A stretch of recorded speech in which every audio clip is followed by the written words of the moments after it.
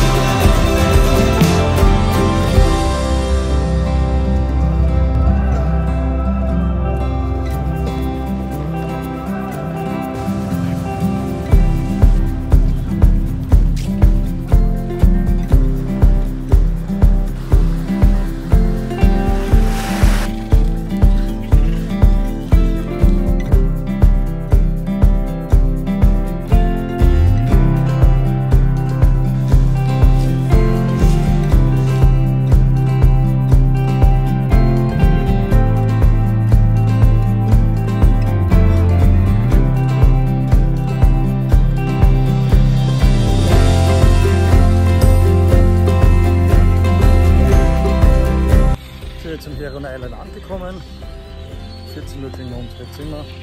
Gehen wir mal ein bisschen herum, checken mal die Lage, was gibt es wo. Eintragen haben wir sich schon für Turtle Walk heute am Abend. Jetzt gehen wir zum Marinestützpunkt und fragen, wo die besten Schnorchelplätze sind.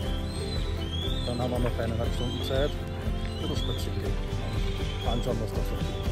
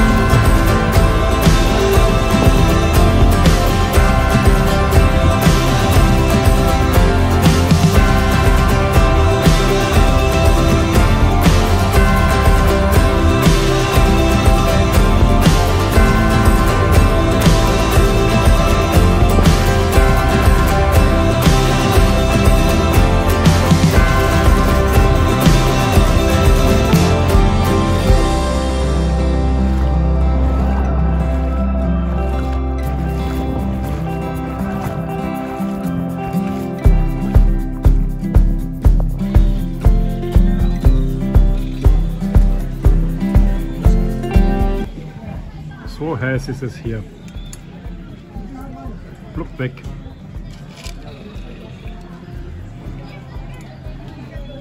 Plupp weg.